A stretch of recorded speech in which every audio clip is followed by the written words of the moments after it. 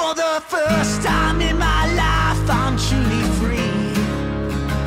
To see the clear cut forest for the poison sea. To see the waters occupy the shores of Jersey. And I feel alive. Right. Hello. Hello there. How are you today? Good. Coming at you live from my compound, the world's first backer episode for The- Calfire Crackpots. It is. It is. You know, we want to be prepared for the holidays. We've got busy holidays coming up. We don't want to be caught with our pants down not releasing an episode and YouTube sending us to the far reaches of obscurity yeah. once again. For those not in the know, we got sent to the gulag in ratings because we missed a single week, and YouTube said, you know what, this channel probably doesn't exist anymore. Uh huh. Well, to be fair, we were only a few episodes in. Yeah.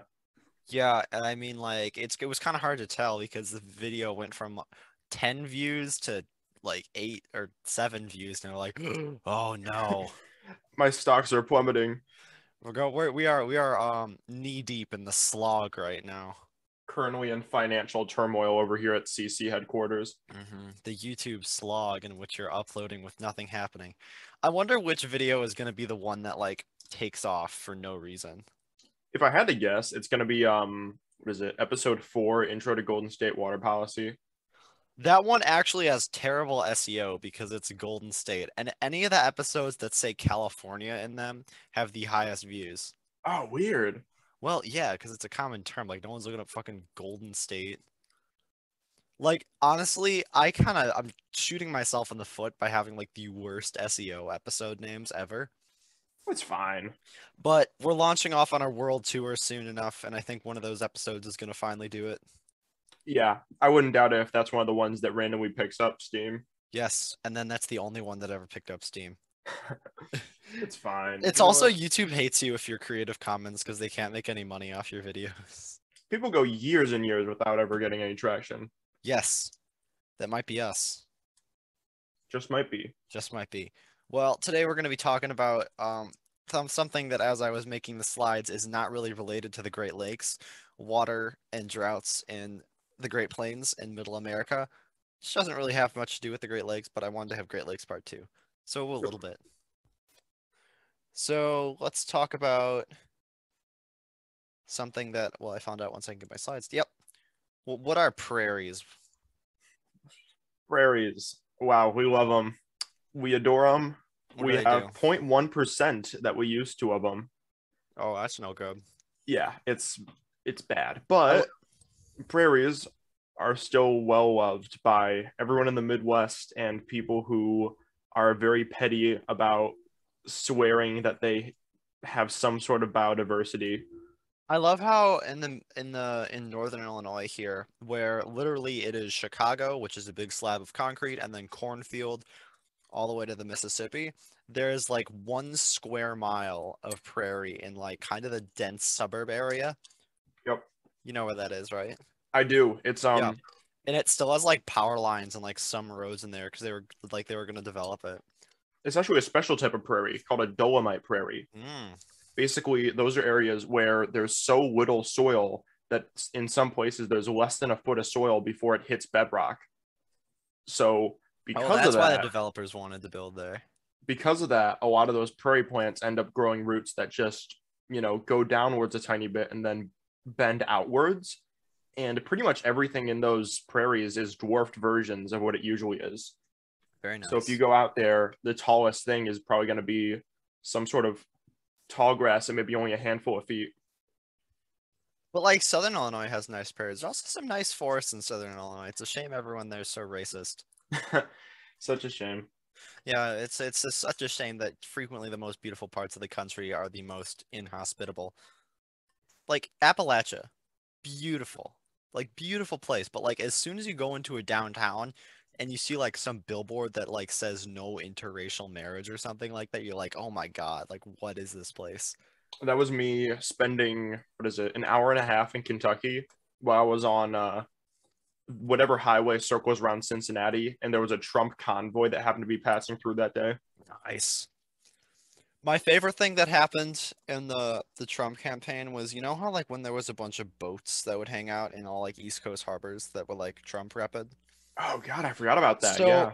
They would frequently swamp each other because, like, you had the normal Trump supporters, which had like pretty much no boat, and then like there was the occasional super wealthy one that would just swamp everyone else's boats. Those are um I was like, that's nice. those are the people that live in rural areas that still have lakefront estates, and it's like they Like a spent a lake million that's, like, dollars on them, but they're still deep. dirty Republicans. And the lake's like three feet deep and it's all in no wake zone, but they still have one of those boats with like the six engines on the back. Yeah, the no wake zones, and then they're like ripping through it with their jet skis. All right. So we talked about this and I was still mad about it. So I thought I'd escaped um, saying that there was a Great Plains region, but basically just taking the middle fourth of America is not the Great Plains region. Do these two pictures look like they they're in the same geographic region? They do not. Well, they are. This is a big canyon in Yellowstone, so it's like right here maybe. Why Montana though, man? Yeah, Montana's I, um, like mostly forested.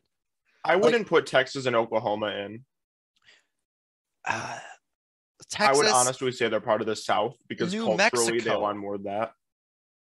like this is the Southwest. I'm cutting California in half for the Southwest because people who say all of California is part of the Southwest, Actually, it's not true. they're bugging. Oh man, I don't know, man. I I don't know. I think I think there's even a smaller subsection of like Utah, Colorado, Nevada, Arizona, New Mexico, and that's the Southwest. Maybe California is just its own entity. You can talk about California as the California region. maybe trying to divide things into geographic regions is just pointless, and we're getting mad about nothing. I think you see we already have 50 distinct regions and they all have their each individual name. And even then, like, bro, why is California one state? like, why did California get the most OP state geography? It has the highest and lowest points in the country by like a lot. Wow, man, I'm trying to find the metric um of yeah, it would be the um California would be the 37th most populous country and fifth largest economy Yeah, fifth if it were its largest own economy. country. Like, honestly, but like, Ahead of India and behind Germany. Oh, that's so weird that it's in front of India. I mean, it's it's the companies, right? Like the It com- must like, be. it- like uh, you know, like two trillion dollars, Apple, and probably more than that by now. It must just be an anomaly. Yeah, not Tesla Because- anymore. It's just like it could be any state if like there were a few more companies there. But I mean, like It's- it's yeah. such an agricultural and economic powerhouse that it kind of gets that anyway. It also It's has the kind most of- people. uh It also has more people than Canada, which I thought was super interesting. That's i mean it just happens there's weird statistical errors in a bunch of places like the fact that it has a company with a multiple trillion dollar market cap at this point based in it is kind of inflating those numbers a little bit but I, I, think we could easily like, take over Canada. did you know that montana is the state with the most supercars registered in it Yeah, you know why I I know I know why. It's because this is actually tea. So I had like dinner with some like crazy rich relatives who live in California and people in Montana hate you if you're from California. Like they're fine if you're a tourist, but they'll always ask you, "Are you going to live here? Like like are you planning on moving here?" And if you say yes, boy, they will hate you because what they're doing is after COVID shutdowns, all the rich people would come into Montana and buy like a ton of houses with cash um and basically destroy any new housing developments made for people in Montana. Hmm. because you know it's kind of desolate but but tell me why there's two more supercars there. It's actually because montana is one of the few states that has zero sales tax on any sort of car or vehicle. I love And- how like super uh, depopulated states can just throw that around and like even if they did it wouldn't matter to them just so people would come there Yeah, it's. I think that actually is a policy that stems from the the Bush two arc, where uh, I believe mean it was King Exxon II? paying George W. Bush to, um, it was Exxon paying George W. Bush to lower taxes on SUVs to make them viable still, because Okay. SUVs waste massive amounts of gasoline. yeah we don't like SUVs on this channel SUVs are public enemy number two, right behind Joe Manchin. Mm-hmm. Man, I am drinking the most bomb hot chocolate I think I've ever made in my life. It's like the um the Simpsons movie Ned Flander kind of hot chocolate. Dude, okay, so I took like Starbucks hot chocolate mix, right? So like already fire. Yeah. Melted a candy cane in it, Mmm. put brownie batter in it, You're kind of popping off. and then put chocolate chips in it. That's that's is- a whole bubbling cauldron of hot chocolate. I- there. can feel my blood sugar. I can feel my insulin plummeting right now. double double toil and trouble. Uh huh. Whatever that means. It's the witch thing. It's the thing witches say. Okay. So part of the thing that makes a plain a plain is not really having many trees. As you can see from this map that shows above ground woody biomass relative to something I don't quite know, but really the entire middle America doesn't have many trees. Yeah. Can you say why that is? If I um personally just like from my knowledge of that area of the United States, I would Go say for it's because of all of the massive blocks of ice and glaciers that used to be over that area that kept on repeatedly receding and coming back. Which actually good question. I mean, I don't know why, but I do know it made something really funny. So, because there's like no, this like it all pretty much it looked like this. This is native prairie grass in like uh, Oklahoma. So basically, the entire Middle America looked like this.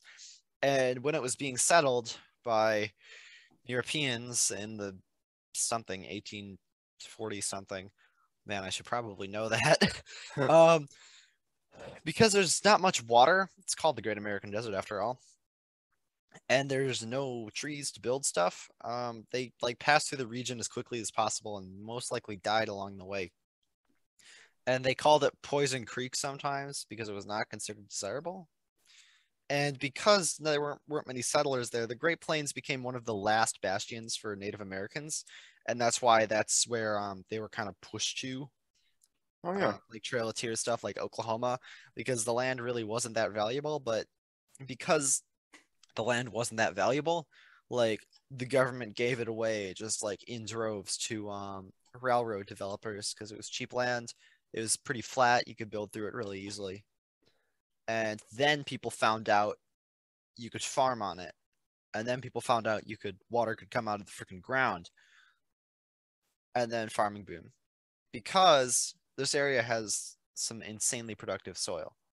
Mhm. It's very nice. We love our soil. We do. We don't want it to go into the ocean. It won't go in the ocean. I'm eating all of it. I love the taste of koi loam. I can't. I I cannot get enough of it. Can't you get like a parasite from eating dirt? Yeah, you can. What does dirt taste like? Um, you know Tastes how like Oreos taste. Of years of carbon. You know how Uh-huh. Oreos taste. Imagine like eating. Oreos if you were sick. Eating Oreos. If I ha- when's the last time you've eaten dirt? Like a week ago.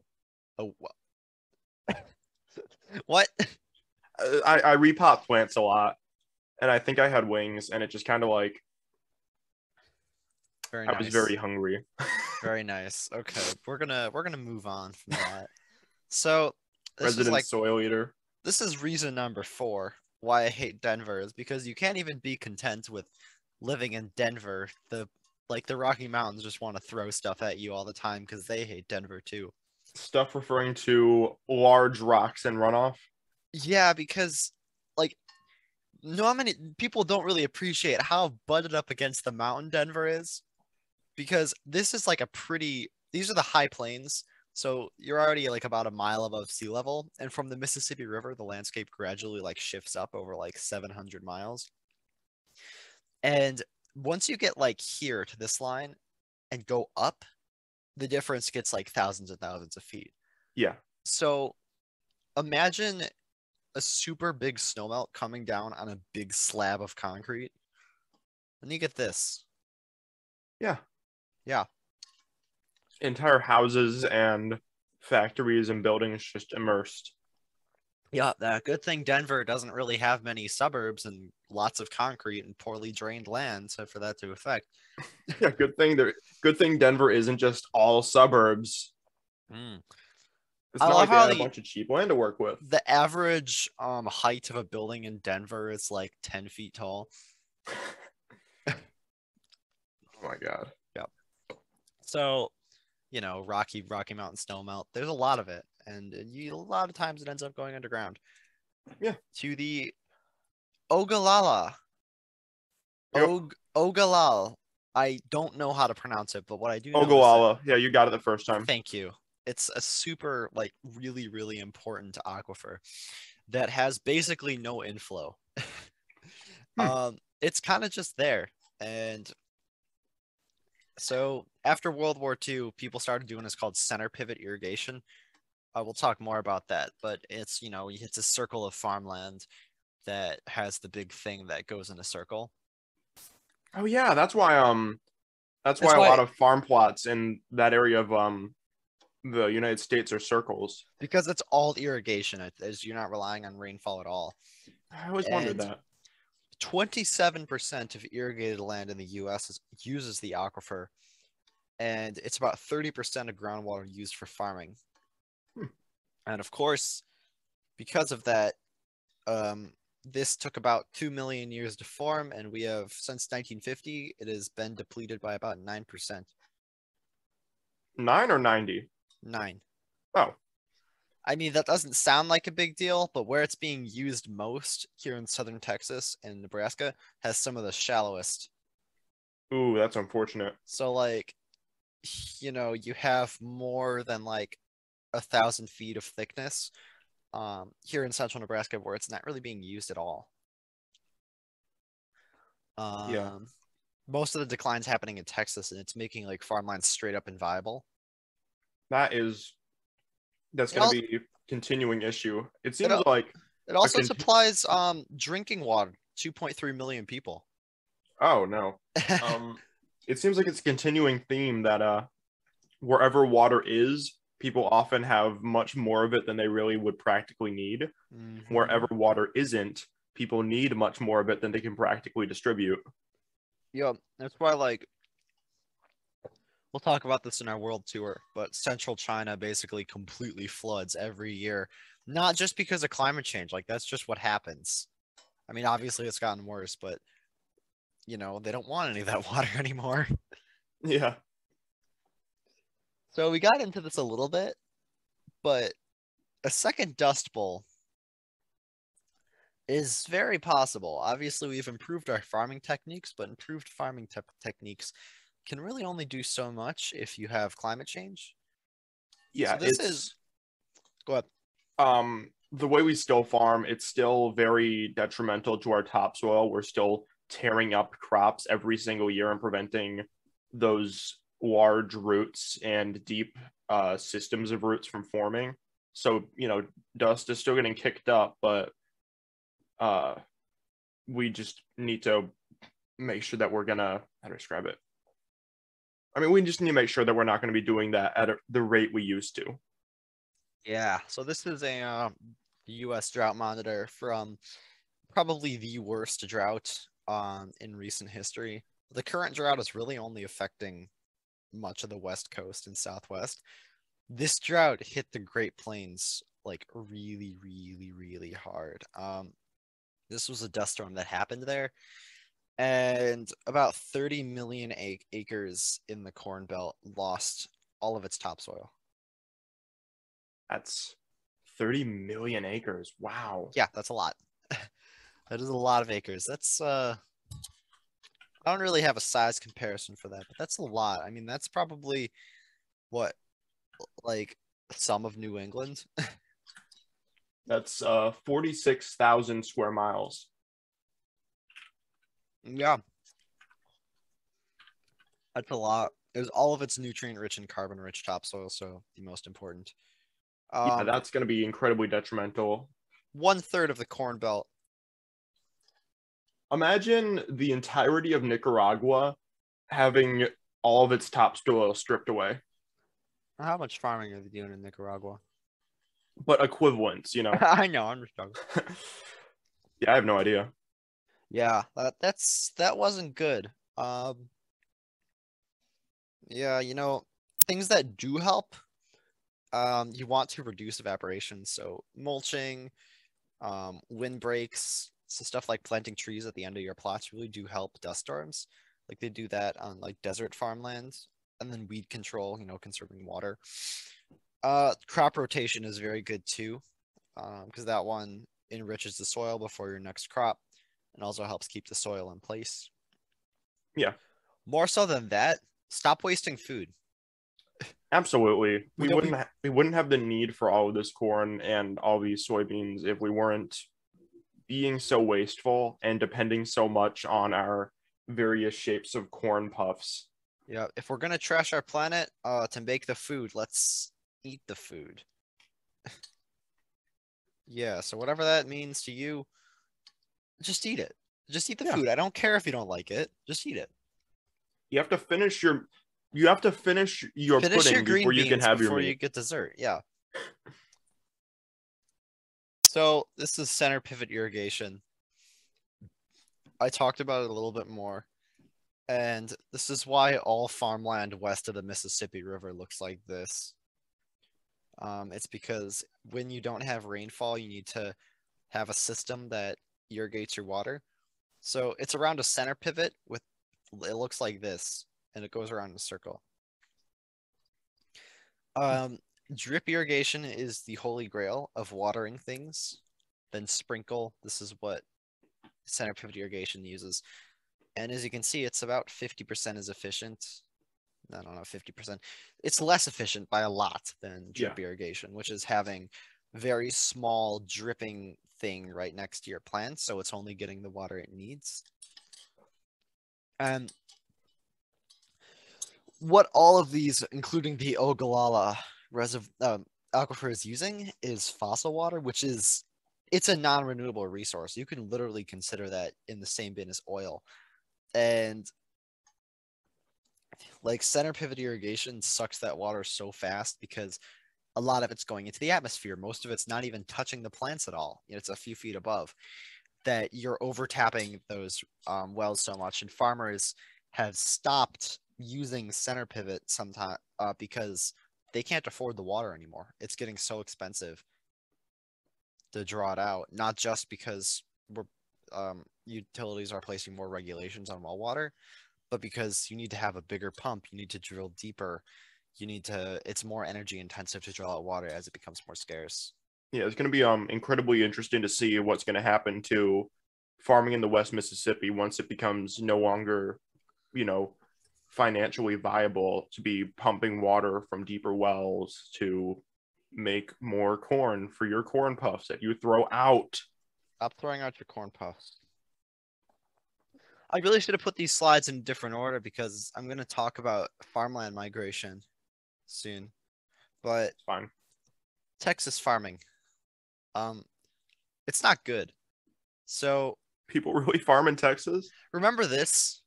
Yeah. Not many people remember this, but when like Texas, um, ha- got the that got the the Midwest special for a few days. yeah, so Texas uh, threw a bunch of climate change related weather mumbo jumbo that I don't really understand. Um, literally, pretty much the entire country got like really cold. And like Salt Lake City, 36 degrees. Um, Dallas Fort Worth, 12 degrees. Tulsa, Oklahoma, 4 degrees. Um, Mississippi, that's not Mrs. Alabama, 13 degrees. It was really cold everywhere. And, you know, in Texas, I'm thinking of some of the things that went wrong. Um, yeah. all these buildings that that are in Texas that require power to be on at all times for their things to work. Um, paper thin insulation, paper thin walls because they're not. sup- It's not supposed to get that cold. It's freaking Texas. And then Um, Ted f- Cruz heading to Cancun on a flight. Yeah, Ted Cruz happening. went to Cancun. People froze to death in their sleep. Um, my favorite thing was about two years before this happened. Gavin Newsom, governor of California, tweeted, uh, you know, because California's rolling blackouts in the fall. Um, he tweeted like things that you can do to help conserve electricity during the day, like charging your electric car at night or various other things. And I I shit you not, Greg Abbott, governor of Texas, tweeted, um, something like this is the power grid. I'm gonna look this up because me trying to quote this would not do Yeah, it justice. There was something about um the governor of Texas wanting to transition to an independent power grid almost immediately before this was happening, which ended up just exploding in their faces. Um, okay. Oh my god, I I really do need to find this.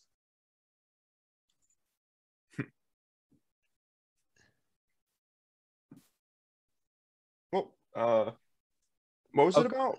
Gavin Newsom It, it, it, it- it was like to the extent of him saying, um, this is the power like this is the power grid grid under Democrat control. They want to make this the standard for the oh got it. Got it. California is now I'm sorry, it was Ted Cruz who tweeted this. California is now unable to perform even basic functions of civilization like having reliable electricity. Biden slash Harris slash AOC want to make California's failed energy policy the standard nationwide. Uh, this was tweeted August of 2020. Ooh, that aged like milk. Oh yeah, that aged terribly. Yeah, uh, Ted Cruz went to Cancun. Um, a lot of people died, and what happened is there's an East Coast interconnect and a West Coast interconnect. So it might surprise you to know that pretty much the entire uh, east side of the continent is connected, including Canada. It's just easier to have everything on the same grid and then square up between the countries based on who's producing more. Um, and then the West Coast has its own interconnect. Usually it's west of the Rocky Mountains. Um, and Texas literally has its own third interconnect called ERCOT. Huh. And what ended up happening is mm, like 10 years ago, there was a huge, like, there was something like this that happened, but it wasn't as bad at all. And they were like, okay, it's like that was our grid is designed for a 50 year storm. That'll be fine. That was the 50 year storm.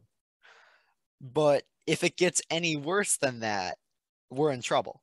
So they made no improvements to anything. Oh And my then- god.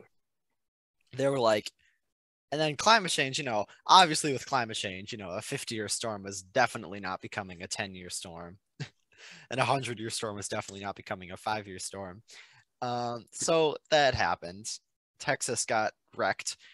Pretty much all of its power went out, and they did ration power to the financial districts of city centers full of office buildings that no one was in because of COVID. Yeah, And bad just waiting on many parts. it was bad. Texas got caught with his pants down, and unfortunately, a lot of people died in what was largely a political standoff. I also love how Florida still finds a way to be 83 degrees. Yeah, right. And, and like, of course, the West Coast is still a balmy 62 degrees. yeah. Uh huh. But that also caused a lot of crop failures. Texas yeah. is, can be known for year round farming, pretty much killed all of their crops. Big crop bust around that time. I remember. hmm And cattle is basically what I like to call a turbo crop in that it requires just exponentially more resources than a regular crop. Um, that's going down as there's less water and feed to maintain the population. Yeah. And then this drought, this drought monitor report is the most cursed thing I've ever seen in my life. It's all red. That makes like California look like a a rainstorm. It's all red. That's terrible. Yeah. More crop failures. That's not very good. So let's talk about the Mississippi River Basin. Um, it's big. Yes, it is. It's, it's most of the US. It's literally everything east of the Rocky Mountains.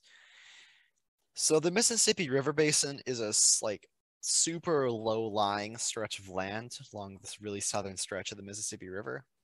And we might have showed this before, but this is what the US might look like if more sea ice melted than could ever possibly melt. It's not really a good exercise to show what'll actually happen, but It's a worth it. hypothetical. it's worth it to show how low lying the Mississippi River Basin is. Even something that's a few miles inland can be flooded. And it frequently floods whenever there's a hurricane, um, causing crop damage. Uh, one happened in 1993 that was about $12 billion. 20% of the population's houses were destroyed in that area. And the Mississippi River o- on its own, like by its nature of draining such a large part of the US, is super prone to flooding when it gets wet anywhere. So lots of crops along the river have a bad time. Yeah. That one's not really related to the Great Lakes either, man. I haven't talked about the Great Lakes at all. Why is this the part two? It's fine. It's it's exploring water relation to the Great Lakes. You know, It certainly is. So this is worth talking about, and I I, I sense I'm probably going to be here for a while. So right to repair, it's a movement that's been gaining traction for quite a while. Haha, traction. We're talking about tools and farm equipment. and essentially what it is is that uh, consumers have the right to determine who gets to fix their devices and that they have the right to documentation or and first party repair parts if they choose that repair technician to be themselves. Yeah. And there's this guy on YouTube, his name is Louis Rossmann. He can explain this whole predicament better than I can. But pretty much John Deere is a very big manufacturer of combines, tractors, um, gators, pretty much any farm equipment. And if you look at something like this, this combine, it's big and it's probably really expensive. This is a farmer's livelihood. If this doesn't work, they don't they don't get they don't get paid. They don't get to make money. Yeah. Um so their all of their software and parts are proprietary. If you want if you live in the middle of nowhere and you want to get your um tractor serviced, the only thing that John Deere expects you to do is to pay however many thousands of dollars to hire a huge truck to come out to your house, pick the combine up, and take it off to the dealer. And then it sits at the dealer for who knows how long. And then they might fix it. And then you need to pick it up with the same truck, bring it back. And by then, your crop might have failed. So, what people are doing, there's a p- uh, Vice Vice News does a piece on this, but farmers are finding like hacked versions of the software and fixing it themselves. Like they're finding hacked version of the parts, pretty much pe- what people do to their phones. Like you know, they find a third party screen or something, but scaled up. yeah, And you should care about this because, I mean, in the narrow sense, these these tools are producing your food. Um, if these tools don't work, the American farming industry doesn't work. And you should also care because right to repair affects you personally. The laptop, you even if you don't fix stuff, like you don't know how to fix it, that's fine. But let's say my iPhone breaks and I I don't and let's say I didn't know how to fix it myself. And I want to take it to I don't know, mom and pop repair store and I want them to get good quality parts because Apple's like Genius Bar turnaround is too expensive and takes too long. I need my phone now. It's an important part of my life. Um, currently, if the mom and pop store tried to get parts, they would probably get a cease and desist from Apple. yeah, And a law went into effect relatively recently that requires them to provide documentation to repair shops that they choose. So they have a really Orwellian like repair pro- um, process for getting uh, your shop certified. It takes super long and you can get denied for literally any reason. yeah. So, and I mean, going back to farming, I feel like as a whole, the farming industry has a lot of just horrible um monopoly practices going on. You know, mhm. Monsanto exploiting the plant genetic resources of pretty much everything. And then, uh, have you heard about um, Monsanto pollen blowing over to neighboring fields that don't use Monsanto soybeans? they get sued. Yep, they get sued because they find those Monsanto patented genomes in those soybeans. You done got sued because of natural wind and pollen. Are It's those, uh, ridiculous. don't they This make shouldn't be them like happening. don't they make them like impotent anyway? Yeah, How's it even pollinate then? it's it's because it mixes with um other pollens. Okay. I mean, but like yeah they do deliberately um destroy the uh, viability of those soybeans so that you can't save your crop from some season and then continue planting it next year. Mm. Yeah, and I mean, like, I'm pro GMO. I think that GMOs are an important way to increase crop yields, um, reduce pesticide use, uh, make crops more resilient to diseases, all that. But it it can't be a monopoly. The fact that Monsanto acquired Bayer, the literally the two most important thing like eh, things like you eat ev- pretty much everything you eat is a monsanto seed now Yeah. And it sucks monsanto it, i mean they're obviously not going to but if they say you know fuck it no more green beans then no more green beans Yeah. yeah they, they they can control what food gets produced and it's all for profit they they just, they, they have pretty much no oversight uh, because a lot of people don't realize how pressing the issue of like G- properly regulated GMOs are. Like they just want to say no GMOs. GMOs are corrupting our planet or something. No, GMOs are going to help us out of this mess we made. Yeah. I Yes. honestly do not understand why people just hate GMOs and the non-GMO There's project no- is such a huge thing. Reason. I mean, If you ask those people why, they can't cough up a good reason. they, they will not tell you why. It's so weird. But so as climate change does its thing, um, obviously we can't keep doing the same thing we're doing. And given the fact that agriculture is about makes up about 30% of greenhouse gas emissions, um, that's when you factor in deforestation and post-production steps. Um, there's a few things that we can do to help reduce that impact. Uh, the first of which being solar farming. So as the sun gets more intense, you don't need the crops really don't need as many physical hours of being in the direct sunlight. And if they were in the direct sunlight all day, it wouldn't be good for them. So having solar panels up reduces the impact on the crops and also helps power things. Yeah. Same same type of thing with forest farming, although I don't really see it being as viable. That's your it takes a lot more um it takes a lot more hands-on labor. It's Yeah, hard it's harder to um mechanize. that might be a better family farm type of thing. But Yeah. you're just planting food in the forest. Um, you know, less direct sunlight. And then terrace farming, it's been around for thousands and thousands of years. You can plant things in a terrace, so that helps collect more rainwater for floodplain things like rice. It also looks pretty cool. Yeah. I don't think this photo is actually real. It looks a little bit too high saturation. It does. I think it might have just been like a edited. It looks a know. little edited, It does. but regardless, it does get the terraced farming point across.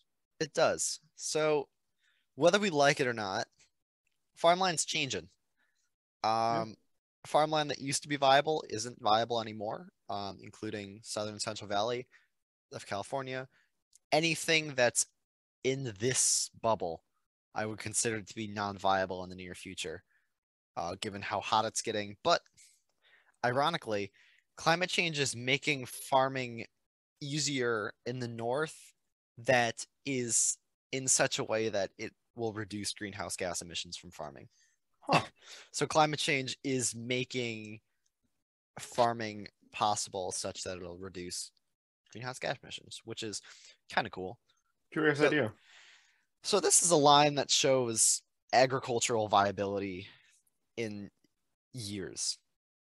So this line's a bit hard to see, but it's the current agriculture viab- agricultural viability.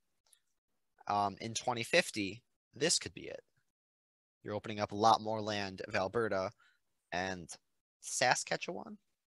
Is that how you pronounce Saskatchewan, yep. that's right. To farming. Um, a lot more high elevation farming. That doesn't really matter too much, but what does matter is that it's better land and Alaska too. So opening up more land to farming will not only like decrease the need for water, like overtapping wells, but it'll also introduce more land for farming kind of at the same rate or faster than you're losing it. Yeah. Then So- also a curious observation. Um, uh, Siberia having more viable land. It'll be interesting to see how that pans out on um an economic term. Yeah, a lot of people don't realize how forested and sparsely populated Russia is. Pretty much everything south of this line right here is forested. Yeah. Sorry, what east of this line is forested. Um and it's also like super deserted. Like literally look at a map and go to uh eastern Russia, there's nothing there. Yeah. It is weird. As soon as you go east of St. Petersburg, things just kind of start like Dissolving. yeah. Yeah, Russia's interesting. I- I'd like to travel there um, if I don't have the threat of being abducted and used as a pawn in a foreign policy game. Yeah, same thing with China. I'm like, I really want to travel to China when like I don't need to be worried about like being a political prisoner for now might not be the time. Xi Jinping looks like Winnie the Pooh or something. Yeah. Now might not be the time. Yeah, I don't know. Can can can the uh democratic revolution happen soon so I can see pretty things in China? The general restriction for tourism is don't go to any place that has some sort of restriction on your uh, departure from that country. The cities, yeah, the cities are usually fine. It's when you go to the places where China's doing things they don't want you to see. It's like um when it becomes if you go to North problem. Korea, I don't know why you would, but if you go to North Korea, a lot of times the tour guide that you're assigned to will not let you leave Pyongyang, barring only the best reasons. Uh-huh. Yes. Um Yeah, North Korea is one of the weird ones too. I saw this documentary of people who like traveled to North Korea as like for a foreign policy thing and it honestly felt like it like Truman Show. Like there were light shows going on in the city and it honestly like really did feel like it was all because they were there. Yeah. Yeah. Authoritarian countries are weird. A lot of people give America flack, rightly so, but it can be a lot it could be a lot worse. Yeah, people always have this negative image of America, and then, I mean, I'm not sure how sold you are on the Global Happiness Index. Personally, I'm I get I take it with a few grains of salt, but we're I take it like with top a, twenty. um, top 20. yeah, we're up there. Interesting. Who's first? Uh, some Scandinavian country. It changes most years. That's fair. I believe that. I mean, Sweden's a pretty place, but then you go there and there's still like hideout Nazi families and stuff. This You're year like, is "Ooh." Finland. Man, imagine being like the Finland government and you need to like compete with some other like stupidly named country Yeah. to try to figure out who gets the um happiness index prize. We are number 19. That 19. Okay. Yeah. What's that what's what's the what's the most uh relevant country that's ahead of us? most relevant country ahead of us? Uh, UK is above us by two places. Canada is above us by six places. I believe and then that Germany is one above Canada. I mean I believe Canada is higher because there's less people. Pretty much, um, the top 10 happiest countries are all the Scandinavian countries, um, Austria and Australia and New Zealand. I Oh, saw this Luxembourg. meme. I, I saw this meme and it was like a headline and it was heartbreaking.